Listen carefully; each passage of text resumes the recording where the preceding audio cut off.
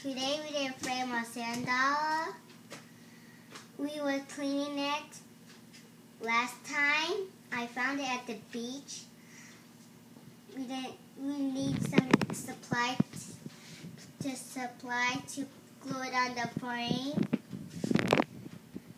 We need fire, glue, kodo, and sand to glue it on the frame.